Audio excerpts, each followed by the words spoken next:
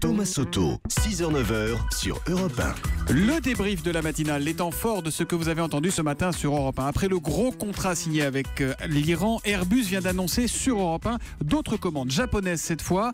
Que de bonnes nouvelles décidément pour le président d'Airbus, Fabrice Brégier. Il était ce matin mon invité pour l'interview Vérité à 7h45. Si je prends la commande iranienne, Bien sûr, il faut la livrer sur 8 ans. Ça représente en gros un quart euh, de mon chiffre d'affaires annuel. Mhm. Donc c'est 4000 emplois sur 8 ans.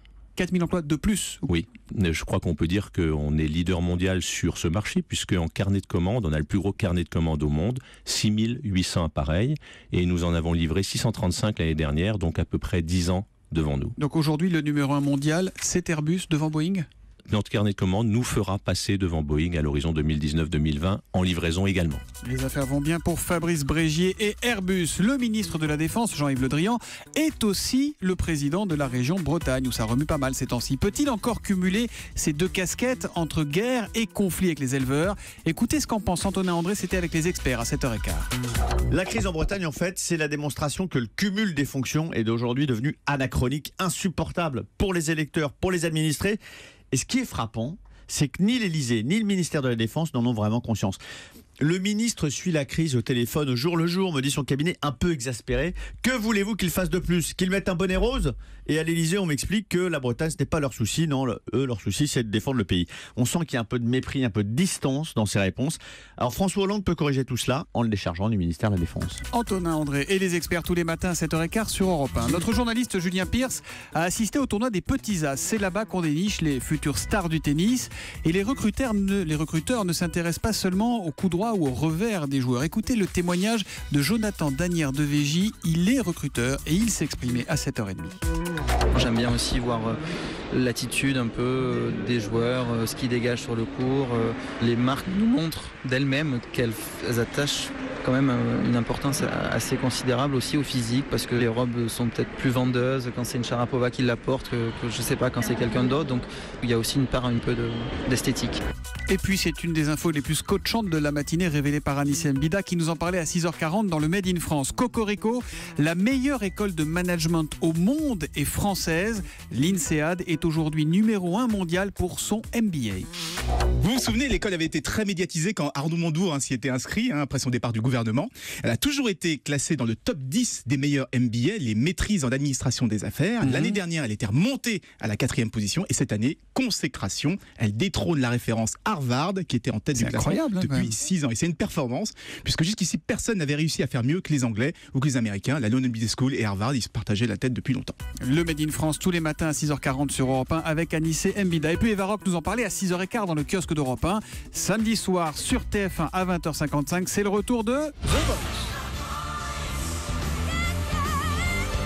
Alors le petit cadeau de la matinale d'Europe 1, les loups, c'est qu'on a décidé de réveiller Nico Saliagas ce matin. Est-ce qu'il est au bout du fil Je suis réveillé depuis longtemps, ma fille m'a réveillé à 16h.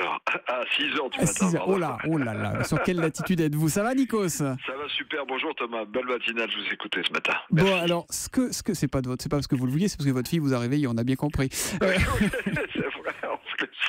On a joué à Nikos ce matin, on a demandé au Twittos à qui vous parlez tellement de vous poser quelques questions pour cette cinquième saison de The Voice. Première question, attention, elle est difficile, hein, c'est une question noire comme on dit dans Sortez du cadre. Ouais. Fille claire, il prend quoi le Nikos au petit-déj?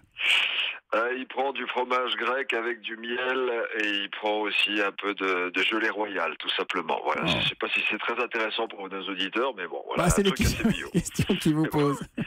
Pourquoi faudrait-il se retourner sur cette saison 5 de The Voice vous demande Victoire Bah, avec ou sans fauteuil, à la maison, avec ou sans buzzer. Enfin, il faut se retourner. Enfin, je survends pas l'émission, encore une fois, mais on est transporté cette année encore et peut-être plus que les autres années parce que tous les talents qui se posaient encore des questions, les artistes chez eux, se disant est-ce que j'ai ma place sur TF1 à 20h50, etc.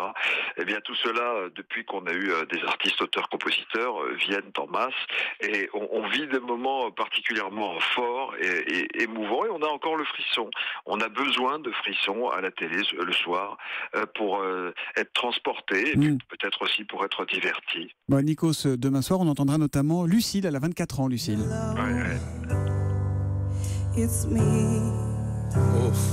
I was wondering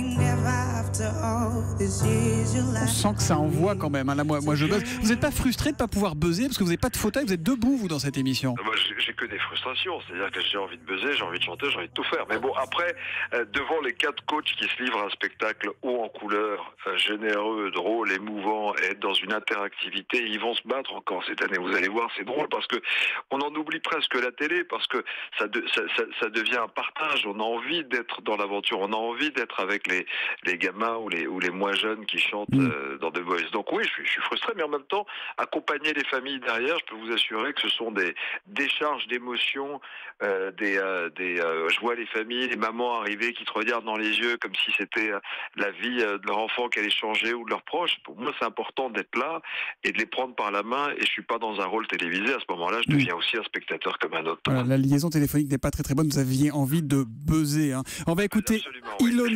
À présent, 18 ans.